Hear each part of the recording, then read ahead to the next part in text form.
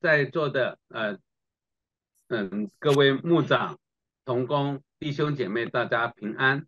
请问可以听到我的声音吗？喂，可以听到我声音吗？可以的，可以的。哎，好，呃，谢谢。呃，首先我要再一次谢谢开路者，呃，所有的童工，呃，特别是在美西的童工，那么辛苦，呃这个四点多就起来服侍世界各地的呃童工，呃，让我在这里向嗯大家，呃，代表大家，呃，向这些劳苦功高的，呃，在后台的支持。呃，整个呃开路者的今天的论坛啊，那么我也谢谢主持人刚才的介绍，呃，这一次呃承蒙开路者呃的众同工啊的这个首肯啊，让我们有机会啊跟大家透过基督教辅导的系列呃来思想啊，在这个教会的呃。辅导啊，这个领域，那么我们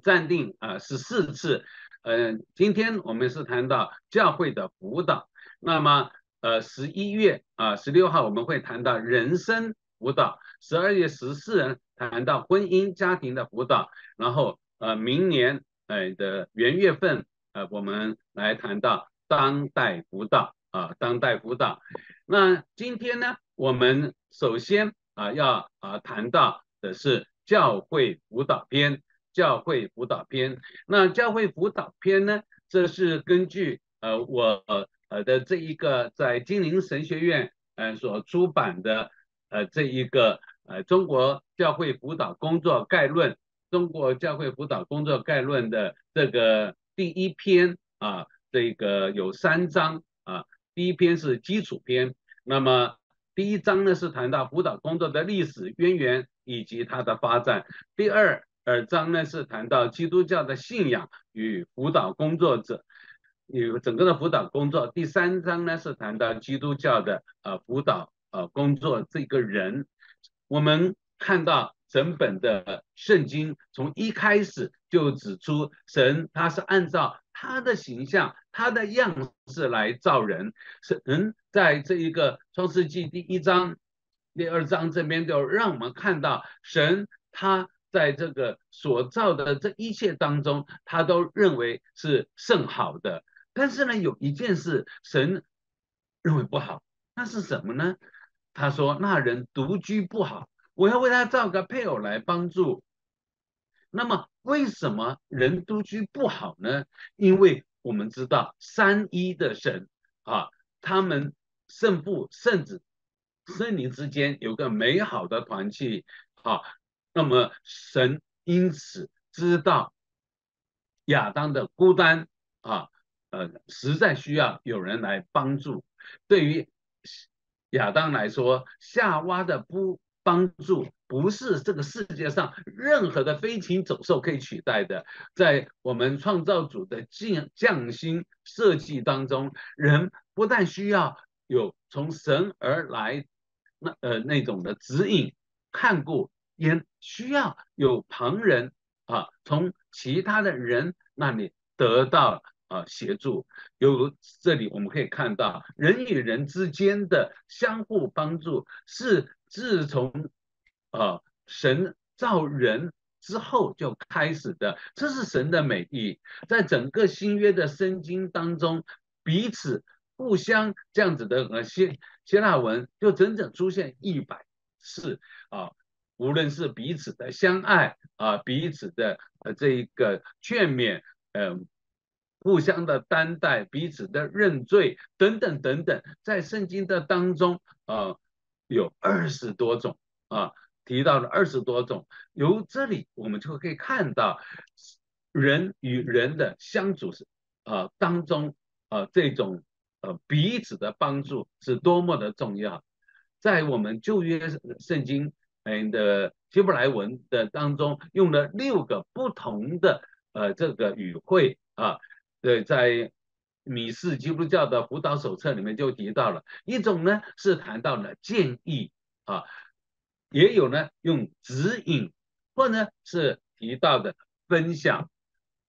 也有啊提到的是婉转的给予一些的谏言啊，呃，出于这个好呃新的啊给予这一个呃呃建议，那当然也有在。生命呃诗篇二章二节那边讲到说，世上的君王一起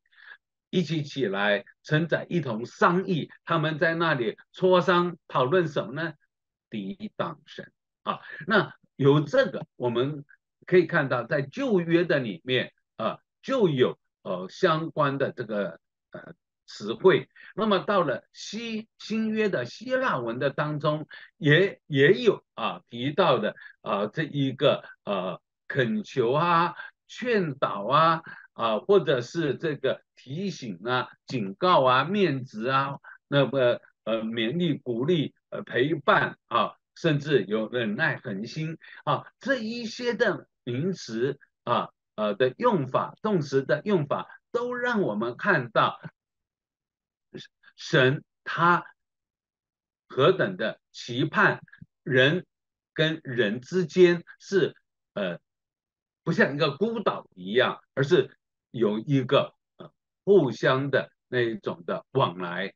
在《圣经辅导入门》这本书的里面也提到啊，从使徒时代开始，辅导就是教会灵性生活当中一个很重要的功能。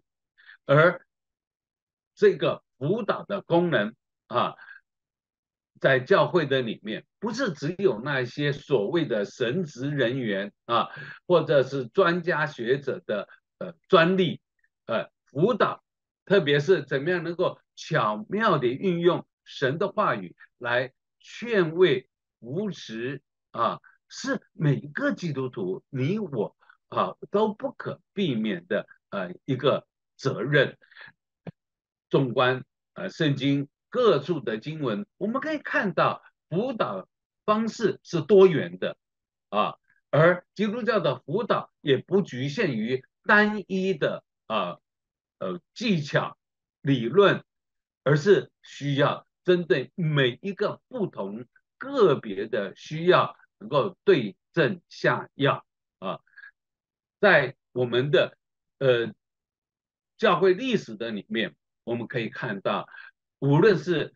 教会的领袖、教牧的人员，或者弟兄姐妹们，我们都在哎跟随着主的脚中，实际的从事的安慰、鼓励、扶持、引导这一些的这样子的啊辅导工作。一千一两千年以来，神的儿女辅虽然没有辅导用辅导这个名词啊，但是已经。发挥了实际这个展开了啊辅导的这样子的工作。那么在我的这在这本书的里面，好，我们刚才呃一开始提到呃第一呃一开始就是它的基础篇啊，在基础篇里面，在第一章啊我就谈到了辅导工作的历史渊源呃以及它的演进。那么可以以。如果大家有兴趣啊，可以诶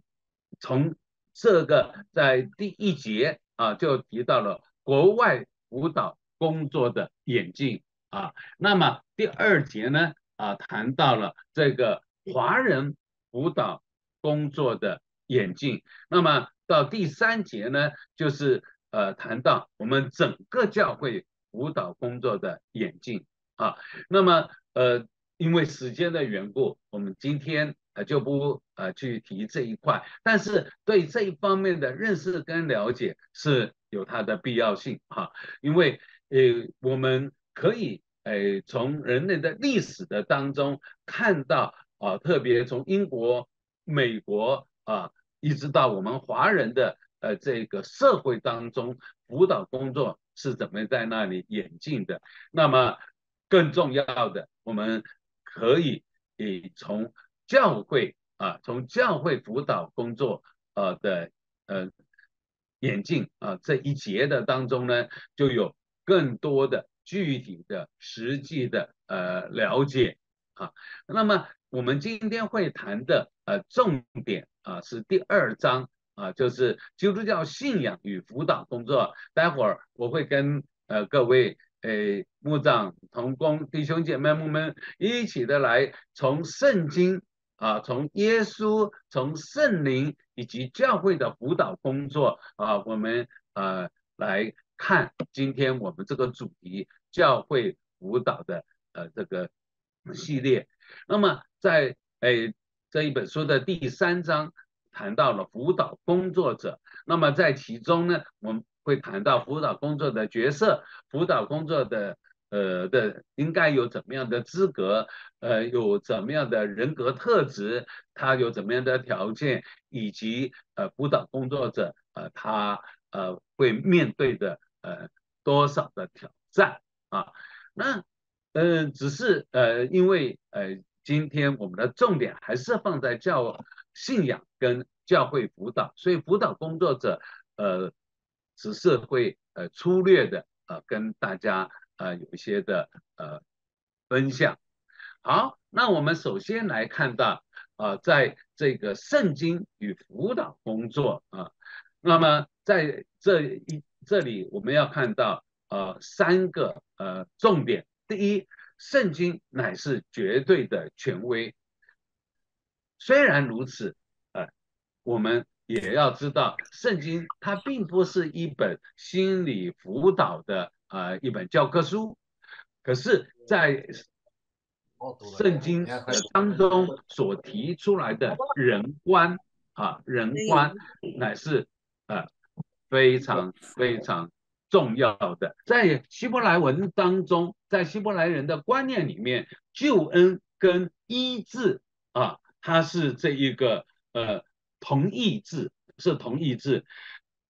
二者。都是神的作为，神的救恩跟神的医治，呃，都是啊。那么，当我们谈到平安，我们基督徒很喜欢提到平安。这个平安不单单只是指的身体上的那种的健康，也包括了人情绪上的宁静、人际关系的和谐，更是要谈到是与神关系的那个和好。啊，与神关系的和好，在整个圣经的当中所谈到的，呃，这一个呃，对于人的认识啊，我们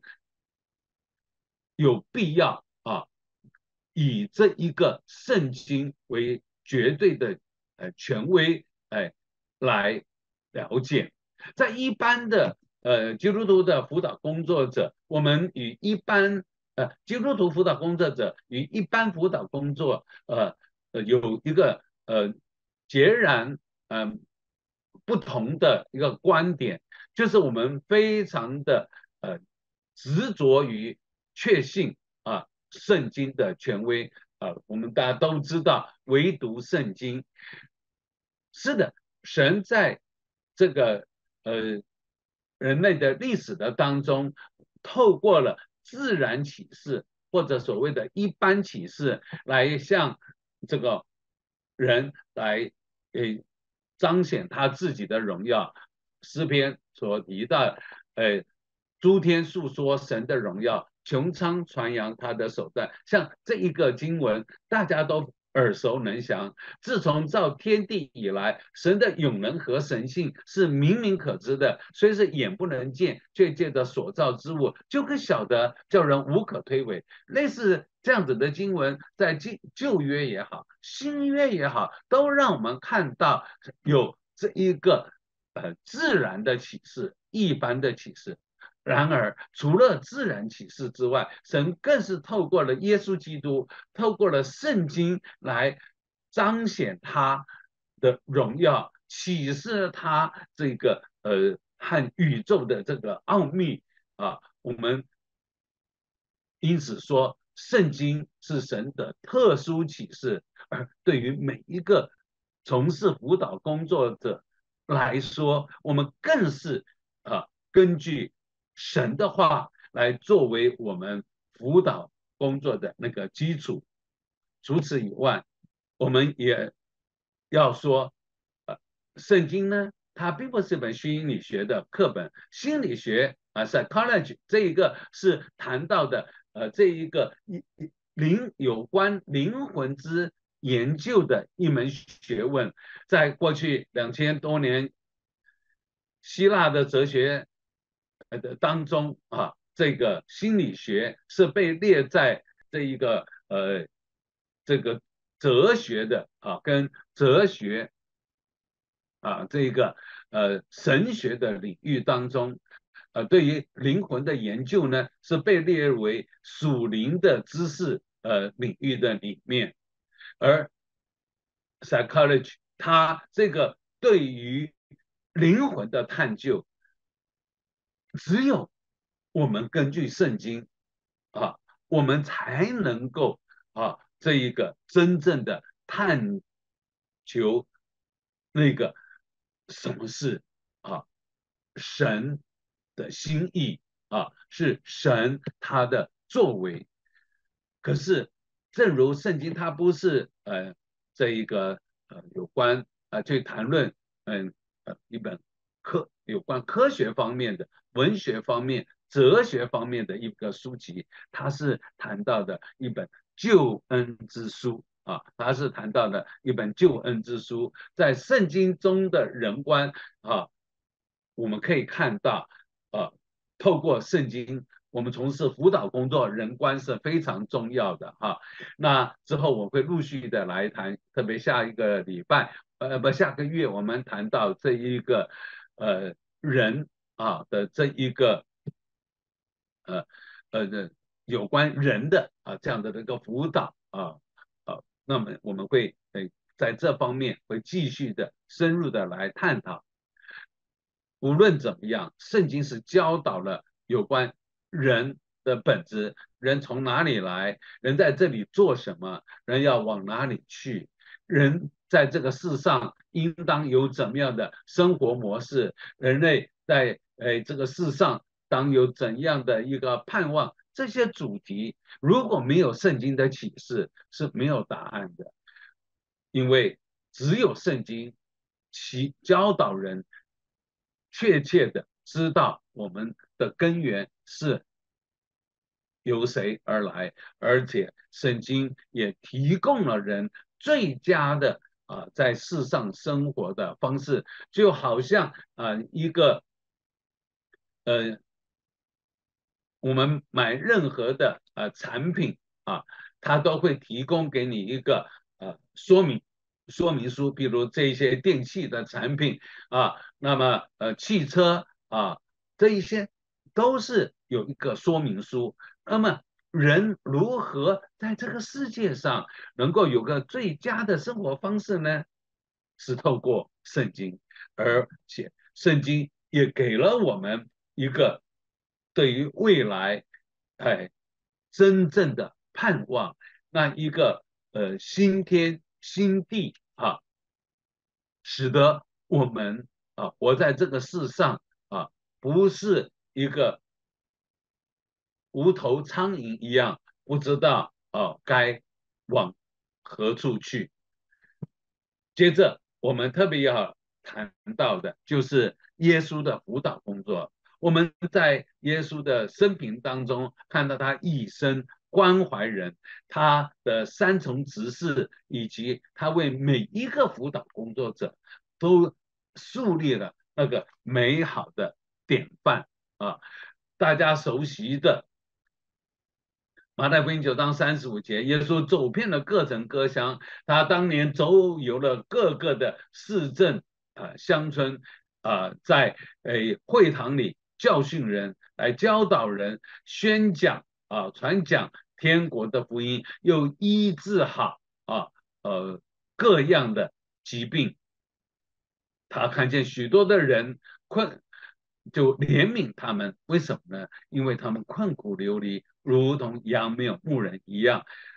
于是对门徒说：“要收的庄稼多，做工的人少，你们当祈求庄稼的主打发工人去收割他的庄稼。在这里，我们看到耶稣生平有三个工作：第一是教训啊，teaching；第二个是传道，preaching；那么第三呢，就是医治，healing。在耶稣的一生的光当中，他呃一开始啊，在拿撒勒会堂，他就呃拿起这个赛亚书这一段的经文啊啊来宣告主的灵在我身上啊，因为他用高高我而去传福音给贫穷的人，差遣我去宣告被掳的得释放，瞎眼的得看见，受压制的得自由，而且呢，宣告神悦纳人的喜年。在这段的经文的当中，我们可以看到耶稣所关怀的是全方位的，不单只是关心呃人呃将来那个上天堂啊，神也关心世人。在还没有上天堂之前，在世上的这些的生活，耶稣的这一个呃三重执事，呃更是大家耳熟能详的。他扮演了先知的角色，他劝诫世人啊要离开罪恶，悔改归向真神，呃让人得以与神和好。而且他也是祭司，他扮演的。祭司的角色，为了世人的罪做了那个挽回祭啊，他曾经受试探啊，肉身也受过痛苦啊，有过那种心痛的时刻，他能够体恤我们的软弱，他更是君王，扮演这个君王的角色，我要指引、率领世人啊，走在这一个。神所喜悦的那个道路上面，他也如同那个好牧人啊，保护羊群啊。对辅导工作者来讲，我们更是要来看到耶稣他为你我所立下美好的典范。随便举几个例来说，譬如耶稣的一生的当中啊，他不单是呃把他所接触到的人，当做一个病患，当做一个个案案例来处理，他是与他们建立那个亲密的关系，是真挚的去爱这些人，愿意去了解、去尊重他们。譬如耶稣对那一个患病三十八年的瘫子，他就先问他：“你要痊愈吗？”他对那个呃耶利哥城的这个巴迪买。瞎子巴尼买说：“哎，你要我为你做什么？”对于那一个长大麻风的，他动了慈心，摸他说：“我肯，你洁净了吧。”耶稣作为我们每一个辅导工作者，他为我们立下了美好的典范。他与他所接触到的人呢，有一个亲密的关系。他。让我们看到啊，他来了，耶稣基督降世为要拯救这些罪人，他是接纳那一些有罪的人，而不是要定他们的罪啊。耶稣深深的知道人在他的心里，人的心里面啊，就已经有那一种啊的神的那个所。赋予的那个良知啊，好像啊，耶稣对这一个行淫的时候被捉拿的妇人说：“啊，没有人定你的罪吗？我也不定你的罪，去吧，从此以后不要再犯罪了。”他虽然明明知道这一个撒玛利亚妇人呃生命当中的许多的问题，但是他不是呃定他的罪。哎，他反而是循循善诱的引导他、接纳他，这也是我们做辅导工作者我们美好的榜样。第三，耶稣他也是运用了灵活的运用了各种的技巧，让人可以向他敞开心门啊。譬如他治好了眼瞎的。瘸腿的这个患血肉的这些有病痛的人，他也给这个饥饿者饱足；对于那些寒冷者啊，给予炭火；对于没有呃朋友的人，给予关爱。耶稣是针对每一个人不同的需要来帮助他们。这岂不是我们做辅导的时候，我们非常非常需要的呃这一个榜样吗？在肉身的耶稣基督，他也受到啊这一个肉身的限制，所以他知道他的时间是有限的，他没有办法帮助所有他周围的人，但。是他知道，他就是要遵循差他来者的旨意，做成他的功。因此，耶稣在世上的时候，非常妥善的啊，运用时间，将精力投注于呃一些他周遭的人。他深深的知道，他没有办法帮助所有的人，所以他谨慎的安排自己的时间。有些人在。他的身边就是在瞬间就经历到他的大能，好像刚才已经提到那个血肉的妇人，当然也有一些的人，好像视若未睹的从耶稣身边走过。不过对耶稣来讲，他深深知道自己的有限，不可能帮助所有的人，所以他非常善用啊。神给他的每一个机会啊，在世的日子做好啊，神要托付给他的工作，在这一个耶稣的心理学与治疗这本书里面就提到，耶稣对于人类行为的模式啊，有那引人入胜的启示。我们这一位道成了肉身，住在世人当中，充充满满有恩典的神。他当然是那个无与伦比的主，而他也乐意哎，让我们接受他成为我们的主，我们的救主，成为我们的祭司，我们的先知，我们的君王，让我们这些服侍主的人，我们跟随他的脚中而行。参与在这个关怀我们周遭有需要人的这一个呃行列当中，神会让我们发现神机骑士不是在新约时代，甚至旧约时代，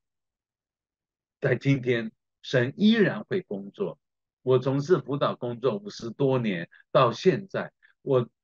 靠着主的恩典这样子。来为他做见证，有多少次，多少的人因着遇见了主，他们的生命得到了改变，就像在四福音当中，就像在使徒行传，甚至在旧约的当中，神行了神迹奇事在他们的生命当中，而。接着我要跟大家特别的啊来谈到啊这个圣灵跟辅导工作，呃，对于刚才诶的这一个呃圣经与辅导工作跟耶稣的辅导工作，或许大家都耳熟能详。那么我在这里多花一点点时间跟大家来分享圣灵与辅导工作，这是我自己从事辅导工作这么多年啊，我们真是啊。呃，深深的呃体会到啊，在辅导的过程当中，圣灵哎是怎么样的啊，在我这个做从事辅导的人身上工作，是在辅导的过程当中来工作，也是让这个被辅导的人呢，呃，经历到圣灵的工作。好，最后也会跟大家来分享一下。那么要达到这样子的目标，还是有一些必要的条件。呃，在呃辅导智商与圣灵工作的这本书的里面就提到，圣灵是世俗心理学课程当中所缺乏的。我相信大家都阿门，是吧？圣灵是世俗心理学课程中所缺乏的。在所谓的世俗的心理辅导工作当中，是一个辅导者、一个智商师和被辅导的人，或者是那一个呃受辅导的当事人之间啊，是呃他们来进行的辅导的，有系统的根据他的专业，哎，他的这个理论和技巧啊，来协助啊求助于他们的人，希望给他们。嗯的行为带来改变，心态得到改变啊，这个环境可以改变，以至于啊，对于诶世俗的心理辅导者来说啊，他们在这一个呃辅导智商的过程当中啊，若是有这一个当事人愿意配合改变啊，哎，这个案好像就成功了。对于一个呃个案。成功了以后，呃，很多人说，哇，这一个呃辅导工智商者，他是很有经验、很有智慧的，这是呃一般的心理辅导工作者。但是对我们来讲，是我们要坚持一个信徒生命，是因为遇见了神啊，他得到了改变啊，是神的人得以改变，不是辅导者的功劳，是。圣灵的工作是圣灵的大能啊，辅导啊，整个呃工作呃当中，神的恩典、拯救的恩典、医治的恩典，呃，在呃人的生命的当中啊得以展开，以至于圣灵可以将人啊。从黑暗，从这个过犯，从罪恶，从无助的当中得到释放，得到了自由，而且呢，也是在辅导的过程当中，因着圣灵，使人可以渐渐的长大成熟，磨成神儿子的形象。因此，呃，我们来看啊，圣灵跟辅导者。啊，之间的那个关系，我要说，圣灵是每一个辅导者最好的个别辅导啊。我们嗯做呃辅导工作的人，我们要深深的知道，我们自己就是需要圣灵在我们生命当中来工作，是圣灵对给了我们安慰、鼓励跟提醒。我我个人的座右铭就是保罗在格林多前书啊十五章那边所说：“我今日成了何等的人，是蒙神的恩才成的。”是我们每一个辅呃辅导工作者，我们是神圣灵的工作，而我们在从事辅导工作的时候。三一的真神与我们同行，与我们同工，陪伴着我们，帮助我们。呃，在从事辅导工作的时候呢，我们可以诶突破啊各种的困境，呃，不容易啊。在这一个友谊辅导这本书里面提醒我们。辅导的辅导者必须牢牢记，在助人历程的当中，不是我们负责，是神在负责，是圣灵在负责，是唯独圣灵所赐下的智慧能力，才得以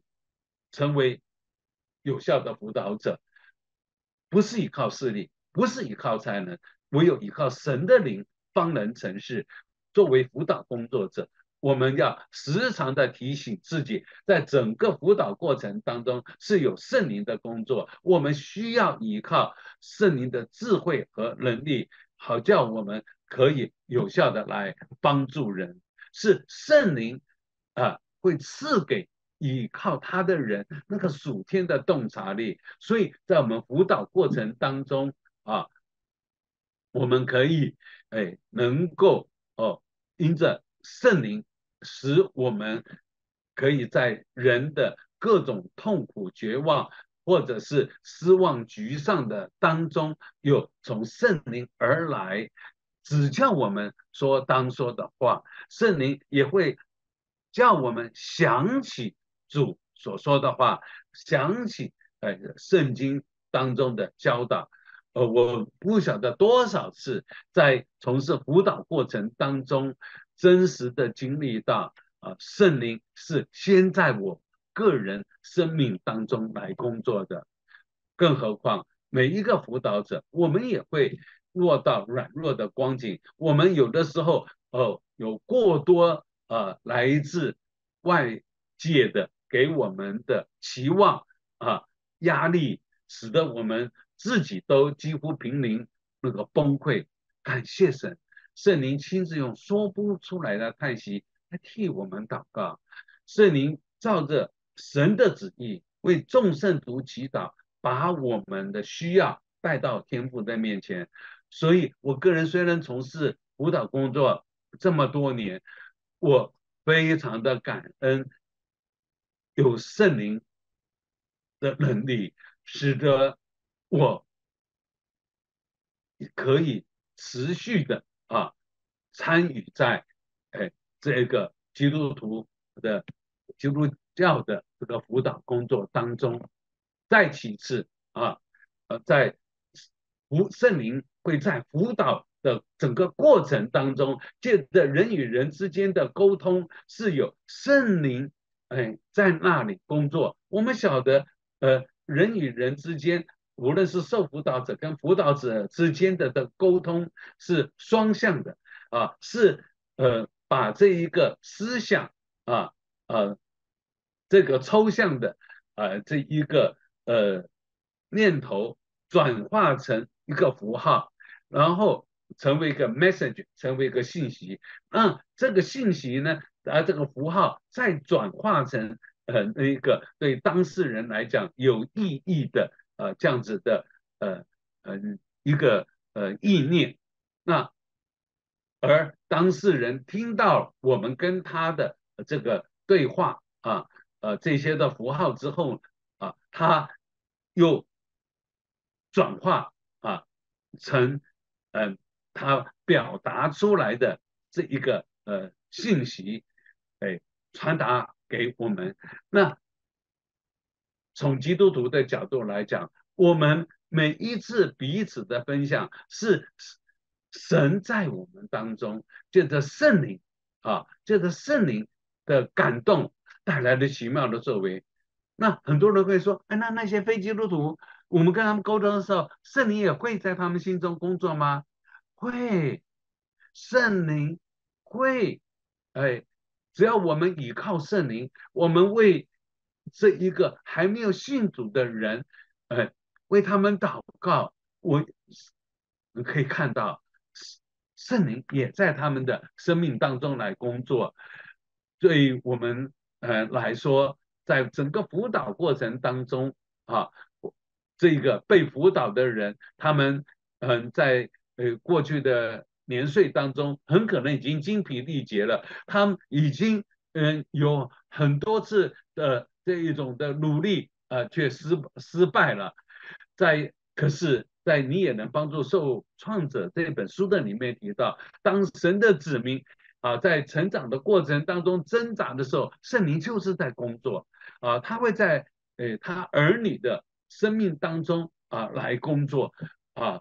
我们可以透过劝诫啊，像 J. Adams 呃所提出来的啊这个呃劝诫的。这个功能啊，让人可以在圣灵的光照之下畏罪、畏义、畏审判，自己责备自己。而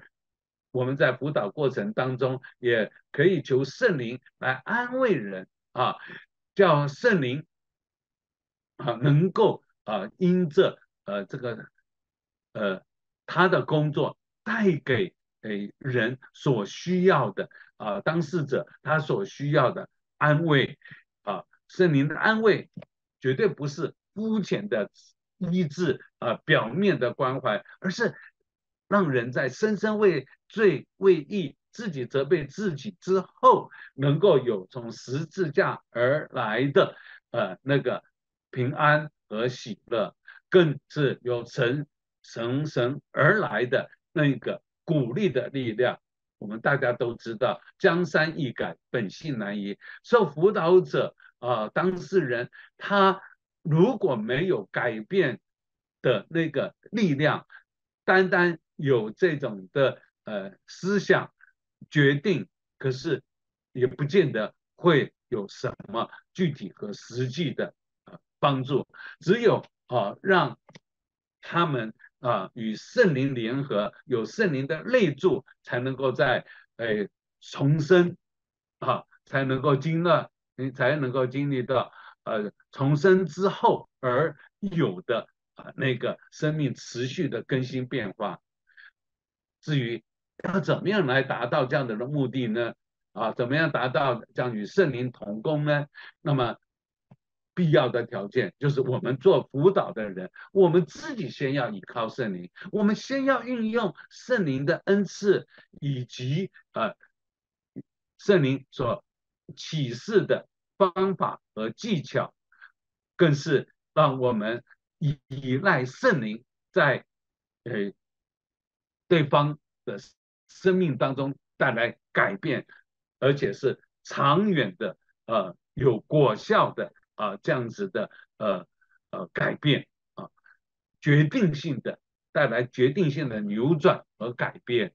J. Abundance 在探讨这个题目的时候，他就会强调，在辅导过程当中，若不认识圣灵，忽略他的作为，没有顺服他的引导，一切的辅导工作不过是规条式的行为自救，最终由于没有圣灵的生命及能力而致绝望。所以我相信大家。因此，可以有这样子的一个呃认知啊，在辅导过程当中，我们要依靠圣灵，而教会，哎，就是呃神今天，哎，在这个世上啊，呃，这个来与他同工啊，来帮助、来关心有需要的人。你我我们都知道。每个人都有需要，那么教会呢就可以发挥它一定的功能啊，来关心啊这个世上啊有各种困扰的人啊，包括我们基督徒在内，我们有的时候也会有灵性方面的这种软弱啊、不成熟、低潮啊，没办法突破，就是十分热心追求的。爱主、侍奉主的基督徒，我们也不可能呃保证自己呃永远是稳行在高处啊。而基督的教会，哎，就是呃一个肢体彼此相顾，让一个肢体若是受苦，所有身体就一同受苦；若一个肢体得荣耀，所有的肢体就得快乐的这样的一种情况。很多呃的人，他们在哎都有这种哎呀，像是满天下知己有几人，没有那种深度的啊这样的的关怀，而这就是教会可以扮演的啊。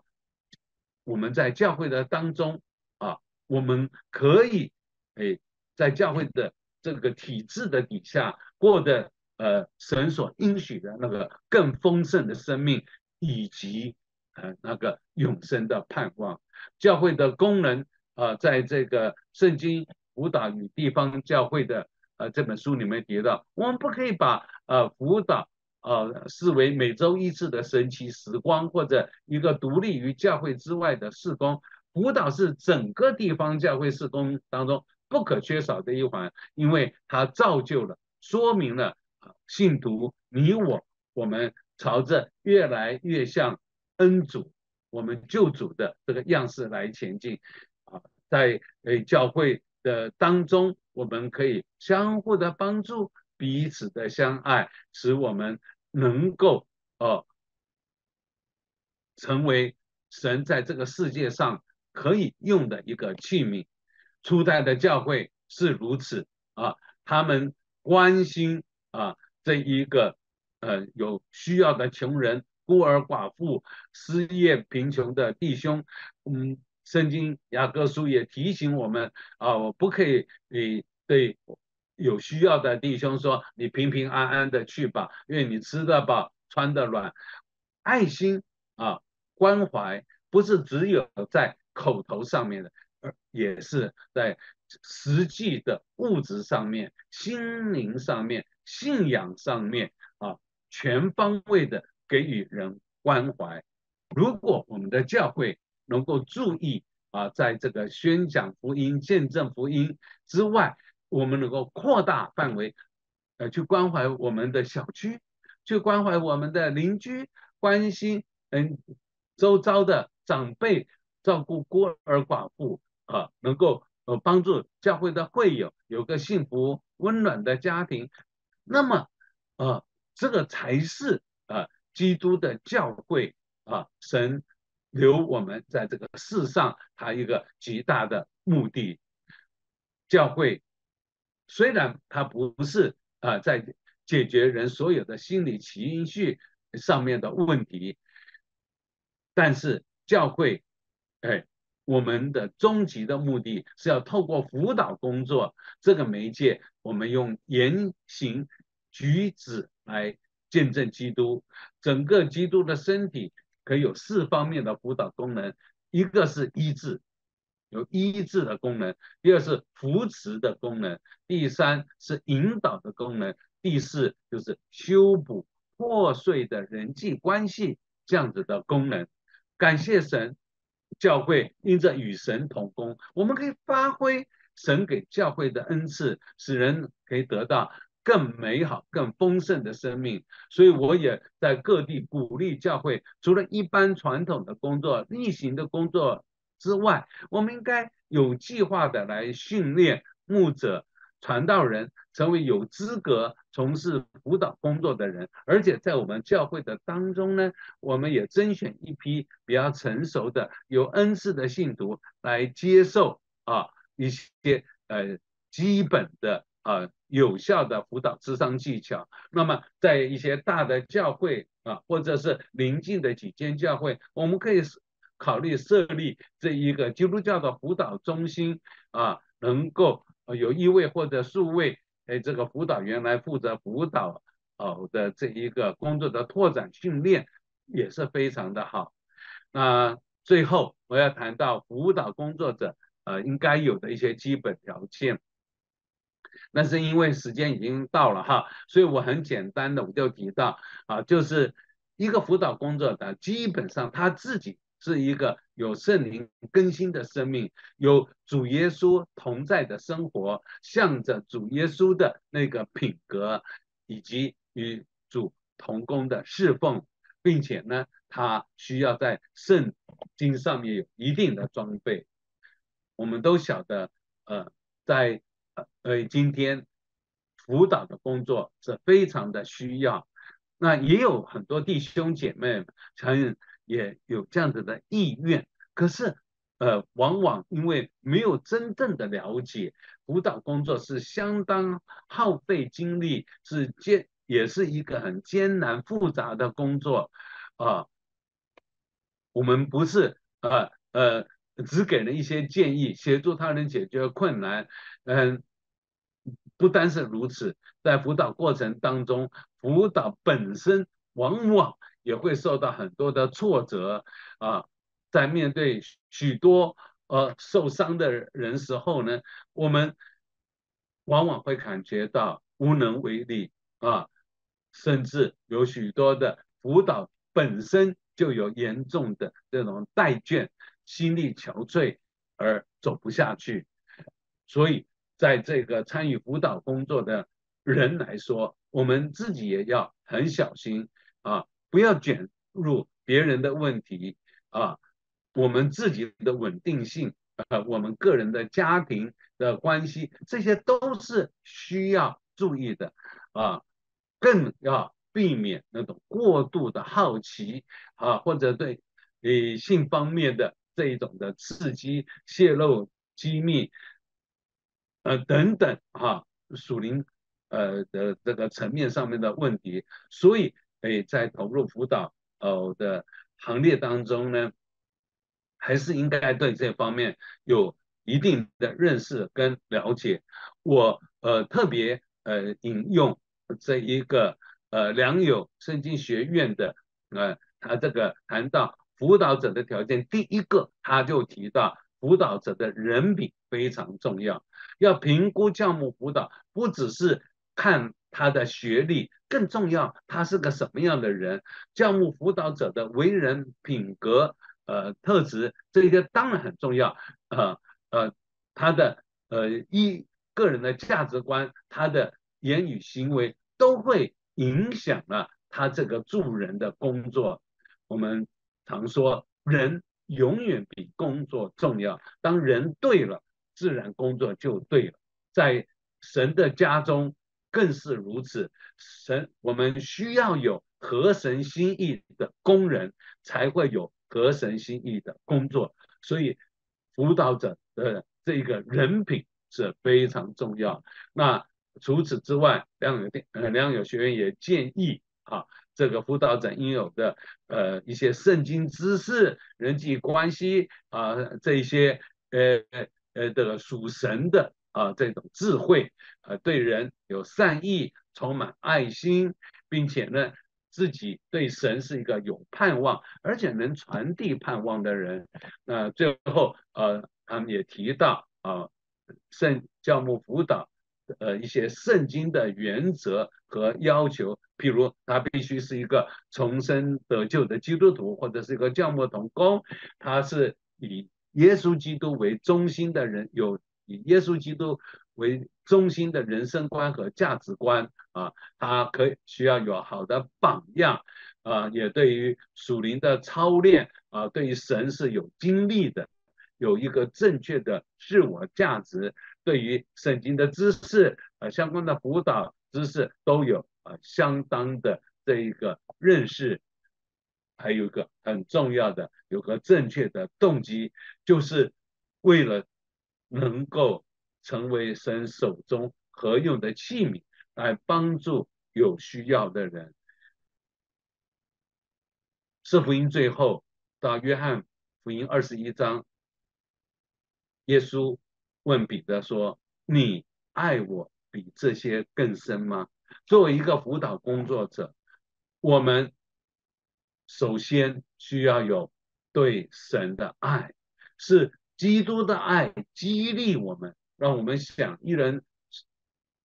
为众人死，我们众人都死了，叫我们现在这些活着的人，我们不再为自己活，而为那爱我们、为我们死而复活的主而活。我们感谢神，让我们可以哎，今天哎，在神的恩典的当中，我们可以一起的来学习啊。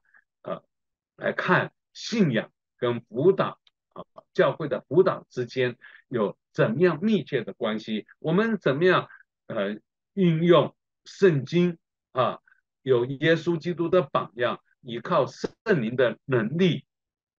啊，在教会的当中啊，我们来成为一个啊合神心意的一个辅导工作者啊。那么呃，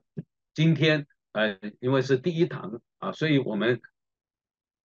以理论啊为那个基础啊，从呃呃下个月开始，我们就会谈到人生辅导、婚姻家庭辅导以及当代辅导。在那里呢，我们就会